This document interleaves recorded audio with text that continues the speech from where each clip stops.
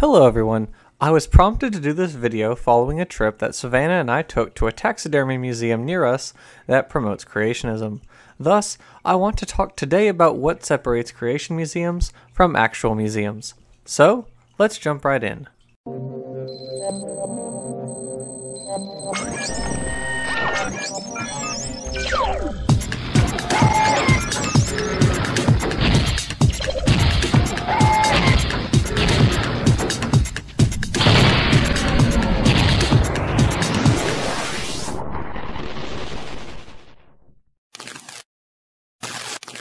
The local taxidermy museum that Savannah and I visited is known as the Touchstone Wildlife and Art Museum, and while it hosts a nice selection of animal skins, it also has a wall dedicated to spreading young earth creationism.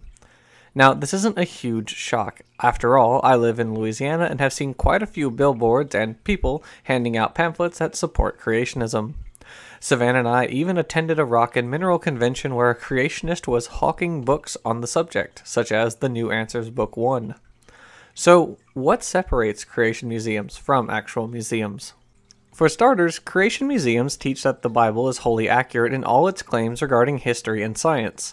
Inherently, there's nothing wrong with teaching about the Bible in a museum. It's been a huge part of Western civilization that has shaped beliefs as well as countries.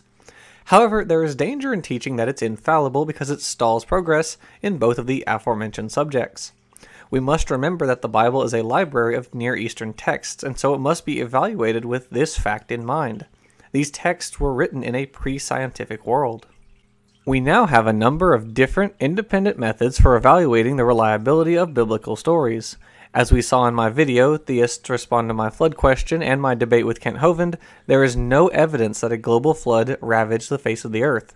Similarly, the Genesis creation account shares many similarities with other Middle Eastern creation myths, deliberately so, as it was partially polemic against said creation myths, which themselves told that the Mesopotamian pantheon were responsible for creating the cosmos together. The intention of the authors of Genesis was to stress that the Hebrew God, the only God, did it by himself, unlike the Mesopotamian or Egyptian gods who needed help from one another. You get the point. These stories were not originally written as scientific descriptions of past events, but to show that the Mesopotamian, Egyptian, etc. gods were limited in power, attributes, and essentially pathetic beings who depended on each other. While the biblical authors were by no means stupid, they worked with what they had. Science was not even a thing back then. Modern young earth creationists have interpreted these stories to have been real events with real consequences.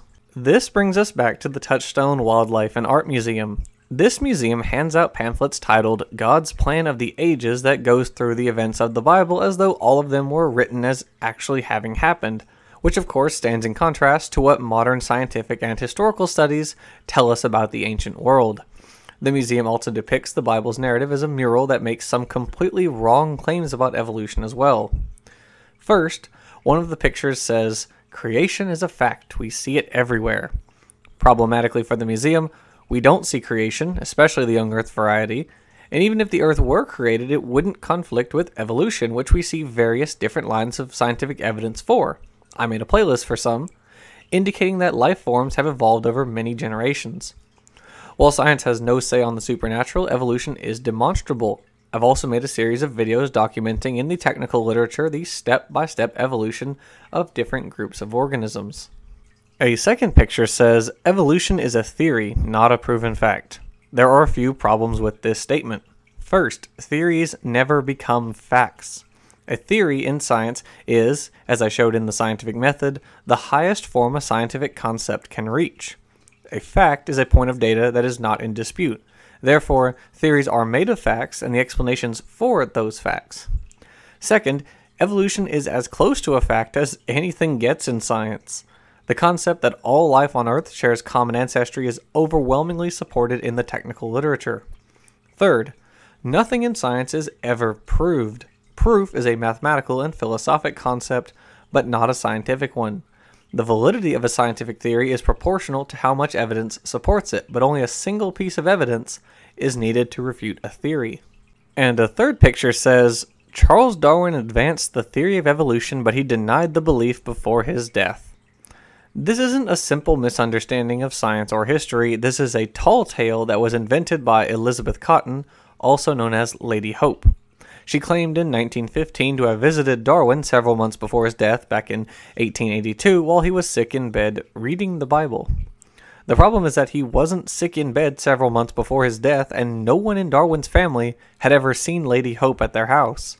No one in Darwin's family, not even his religious wife Emma, gave any validity to the Hope story. Hope's story is so full of holes that even Answers in Genesis has shot it down. The worst part of this story is that even according to Hope, Darwin didn't deny his theory, so the museum is relying on a misunderstanding of an anecdote. As an agnostic, Darwin himself said, quote, It seems to me absurd to doubt that a man may be an ardent theist and an evolutionist. Close quote. So, believing that the Bible is infallible leads one to develop some certainly fallible beliefs. In addition to creationist organizations maintaining that the Bible is infallible, they assert that it's similarly unquestionable. That's why they post statements of faith ordering their adherents to reject out of hand any evidence that contradicts their narrative. As pointed out in other videos, Answers in Genesis says, quote, by definition, no apparent, perceived, or claimed evidence in any field, including history and chronology, can be valid if it contradicts the scriptural record. Of primary importance is the fact that evidence is always subject to interpretation by fallible people who do not possess all information. Creation Ministries International echoes this, saying, quote, Facts are always subject to interpretation by fallible people who do not possess all information. By definition, therefore, no interpretation of facts in any field, including history and chronology, can be valid if it contradicts the scriptural record. Close quote. This is a bit ironic since, even if we consider the Bible as factual in its entirety, this statement entails that the scriptural record itself would also be subject to interpretation by fallible people who do not possess all information. Remember that even creationists don't interpret everything the Bible says as literal, but even a literal interpretation is still an interpretation.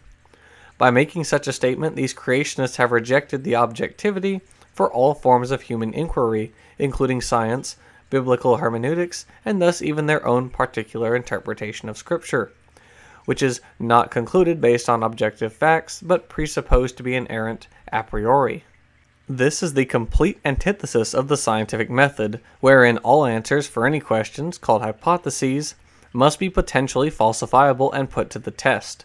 The evidence is followed wherever it leads, regardless whether it leads to something that we rather don't want to believe or whether it contradicts our dearly held beliefs. And even if we come to a well supported answer, which is dubbed a scientific theory, we don't regard any of it as absolute truth, since all scientific propositions, from plate tectonics to quantum mechanics, are open to change in light of new data. Borrowing the words of Carl Sagan, quote, to be accepted, new ideas must survive the most rigorous standards of evidence and scrutiny. All assumptions must be critically examined. Arguments from authority are worthless. Whatever is inconsistent with the facts, no matter how fond of it we are, must be discarded or revised.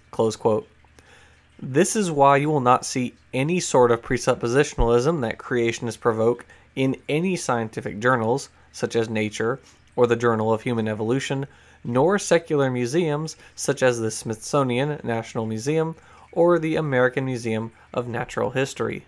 On the other hand, people working at either the AIG Creation Museum or the Ark Encounter must swear to the company's statement of faith. Even the recently constructed Museum of the Bible in Washington, D.C. aims, quote, to bring to life the living Word of God, to tell its compelling story of preservation, and to inspire confidence in the absolute authority and reliability of the Bible, close quote. If that wasn't stomach churning enough, the museum has also paid $3 million in settlements to the U.S. Justice Department for illegally smuggling Iraqi artifacts into the country. On a somewhat humorous note, five of their 16 alleged Dead Sea Scrolls turned out to be complete forgeries. In my video, Did Humans Coexist with Dinosaurs? I pointed out that the Glendive Dinosaur and Fossil Museum misapplied a radiometric analysis to dinosaur bones merely so that they could try to spin a narrative that non avian dinosaurs lived recently. So, what does this tell us? It tells us that creationist museums aren't interested in learning about reality because it contradicts their beliefs, and that creation museums will do whatever it takes to spread their ill informed beliefs. It also means they end up being really bad scientists and historians. They are museums of error, not truth. For any young Earth creationists watching, I put up links to theistic and apologetic channels such as Sentinel Apologetics, Science Enthusiast Wayne Fillmore, and Inspiring Philosophy, who all accept evolution as most believers do, address creationist arguments, and generally do not see a conflict with their faith or the wonders of science. I also put links to YouTube videos and books by respected Bible scholars such as John Walton and Michael Heiser, who thoroughly point out that Genesis was not making scientific statements in its creation narrative nor the flood narrative. So, thanks for watching, and I'll see you next time.